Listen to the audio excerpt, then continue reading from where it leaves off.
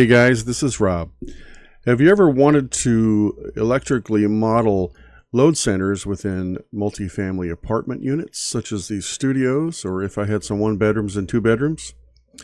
In this video, I'm going to show you how I created a custom family for a load center connection, which includes all of the dwelling unit loads like ranges and lights and receptacles and fans and heating and cooling, and then apply those to a meter center, which adds them up according to NEC rules for a number of apartment units.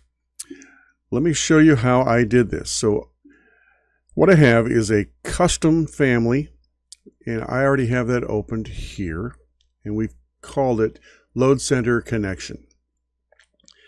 Now, this assumes you've made families or edited families before, so you're familiar with the family editor. But realize, even though this is a load center connection, it is not a electrical equipment. It is not a panel board. It is merely a load that we will connect to another distribution panel of some type. So it's not a panel board that receives connections from receptacles and ranges. This itself will have all of the loads built into it to give us a connected load for each apartment unit. Let me show you what I mean. So this is the 3D geometry of it. It is set up here as a recessed load center. You see the you see the cover of the load center. Let me look at the top view. This view here is looking at the wall because this is a face-based type of family. So here's the extrusion that comes with the family editor. We have our trim and load center size here. Up here is the electrical connection, electrical connector. And that is where the uh, meat of this information is, is in that electrical connector. I could put in conduit connections here, but we don't often model conduit connecting exactly, you know, right to this load center. We we model conduit getting close. We don't worry about connectors, but you can add that easily. So this is the 3D geometry of it. Again, you can see just the face here, but there actually is um, a, a panel tub in there as well. Let's get into the bones of this thing and look at the actual electrical connector. As you can see over here, it is set up as a balanced power system. So remember, this is an electrical fixture, not an electrical equipment, so it has loads associated with it. So if we click on the connector itself, the electrical connector, it is a balanced power system set up for two poles. Lagging is fine. We have a load classification as a dwelling unit.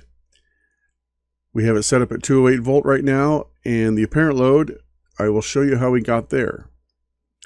You can see these are grayed out, which means that they are controlled further upstream by the family type parameters. So to see those, we will go over to the family types, click that open, and you will see in here, these have all been added to a standard electrical fixture.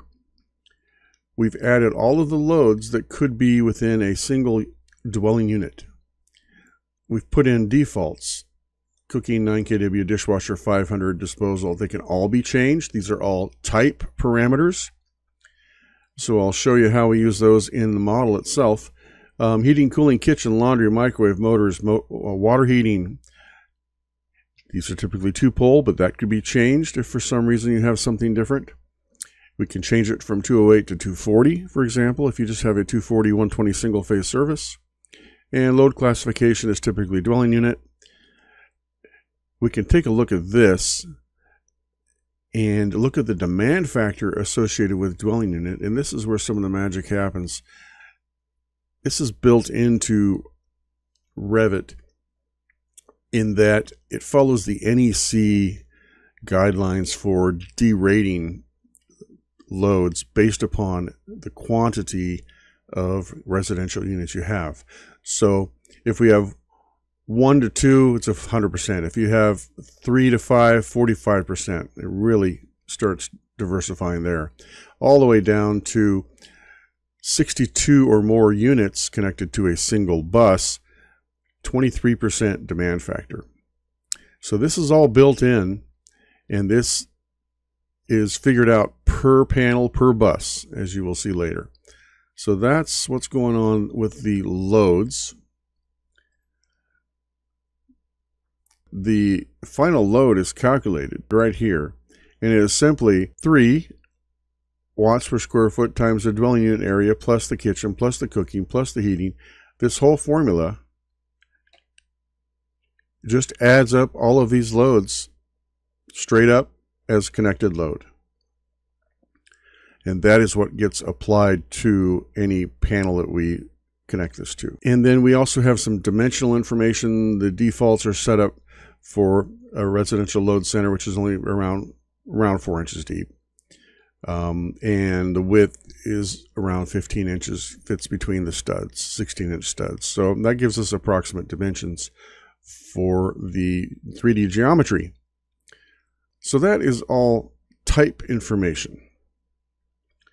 So we can set up a number of different types within our model for a studio, for a one bedroom, two bedroom, because they would have different loads. So let us jump into our sample electrical model we have been looking at. And here is second floor of a small multifamily. And you can see here we only have studio apartments on this level. It's a it's, this project doesn't have many other types. So I'm just going to assume that these are some different style apartments so we can see how this works. But for example, in this studio, we uh, let's say we've looked at the architectural and, and, and, studied what appliances will be in here.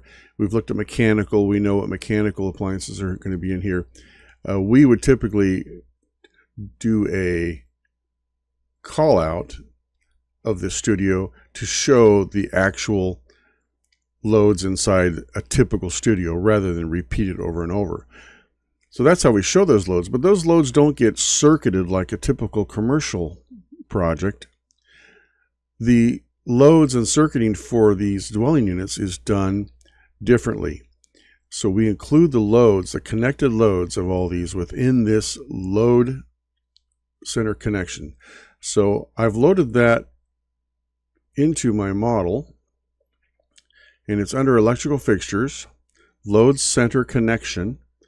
And I just drag one of those in and let's say they want to, we want to put it on this wall here. It's set up as a recessed. Put it in there.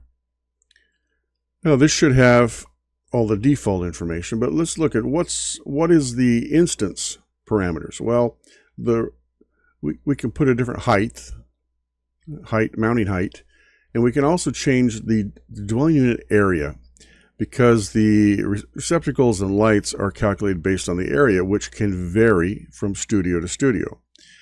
Now, first of all, I want to name this load center as a separate type.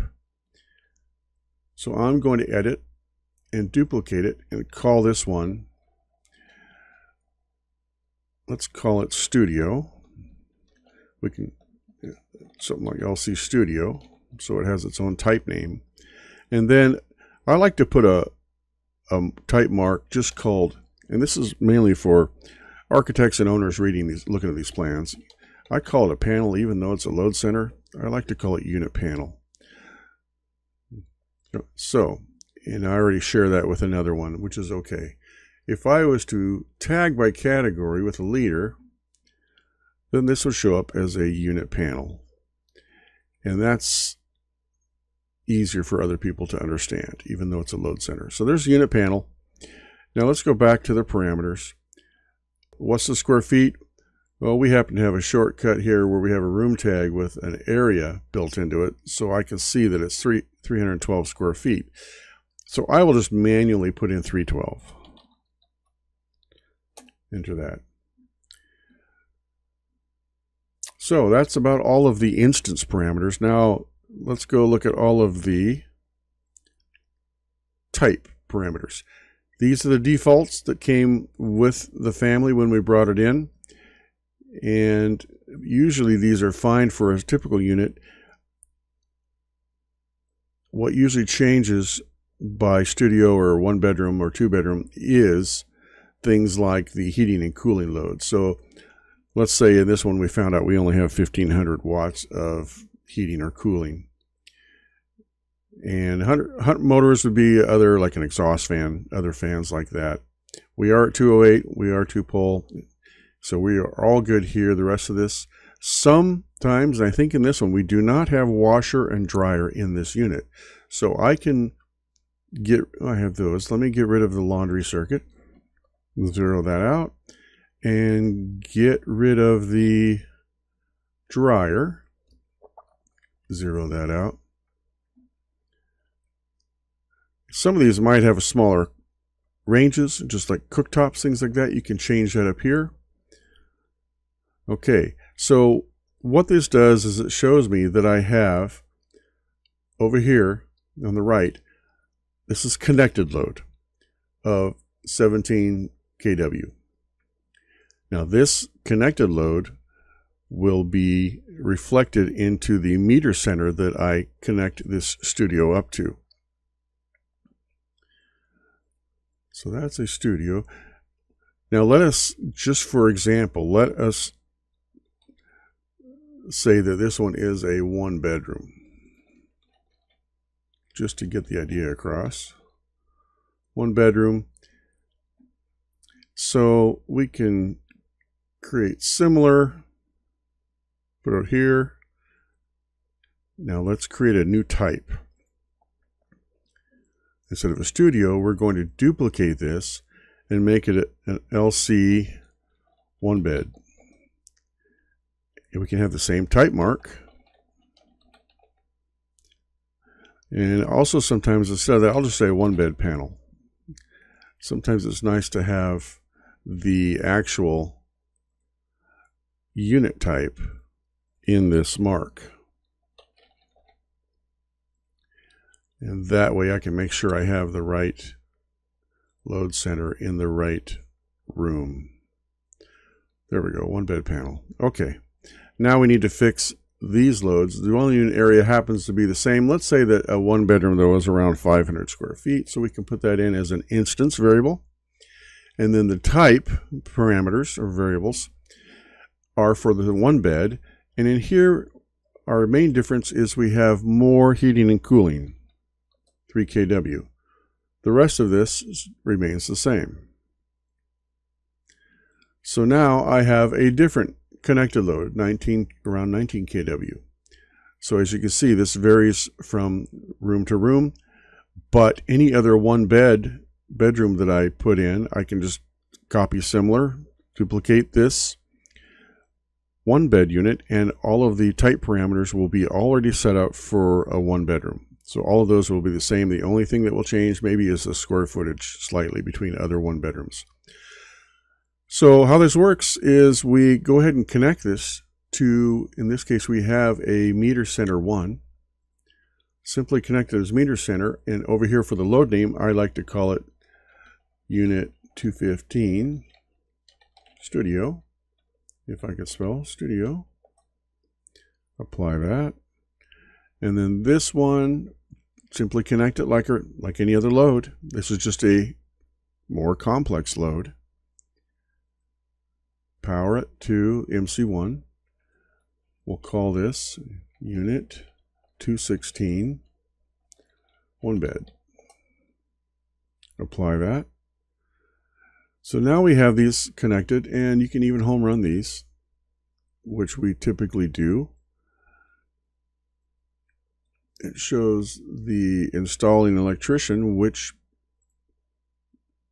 meter center we have this connected to because you get larger units and of course you have more than one meter center. I'm getting into the circuit data here so I can include my conduit, arc wire they call it. There, MC11, MC12. And then if we actually look at our MC1 panel schedule, switchboard schedule in this case, and sometimes I, I will rename this as meter center instead of switchboard, but accomplishes the calculations. So this one shows my two load centers connected. It shows the connected load, down here. And in this case, because I only have two, I'm at a full 100% demand factor. But if I was to add, let's just do it for demonstration purposes, create similar. This is, let's say this is actually another studio. So I'm duplicating my studio panel, which already has my type parameter set up. Putting a leader on this. So that is done. I just have to check my square footage, and in this case, I realize my square footage is the same as the other studio, so I'm good. But now, if I connect this to my meter center 1 as unit 217 studio, apply that and get the home run.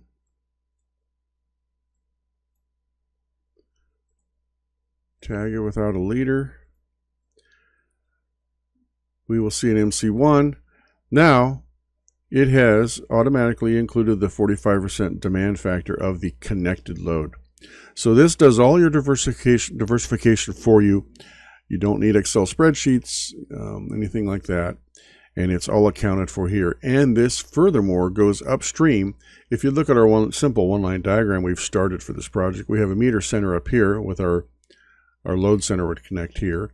And then we're connected through a fuse switch down to our main distribution board. So we have an MDB. Let us see the MDB schedule. There's our meter center MC1 with the connected load. And down here under dwelling unit, it put it separately as a load classification and includes the 45%. If we had other meter centers connected here, it would add all those up and apply the appropriate demand factor for this bus, for this panel, and do all of your calculations for you.